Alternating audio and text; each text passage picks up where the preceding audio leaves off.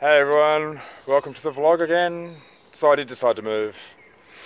Um, it was forecast for rain and stuff, but it was always forecast for rain in bloody Manchester or you know up north here. So I just figure, well, it'll only take me 30 seconds if I need to. If it starts pouring with rain, I can just you know pull up and just close the lid and you know uh, cruise another time. But uh, here I am. So I'm in Romiley now. I'm just um, north of the Marple Aqueduct and of course the Marple, Flight. So I'm going to stay here for probably a couple of days and go. I'm going to have a walk up and have a look at, check out the locks and all that kind of stuff and see what the go is. There you go.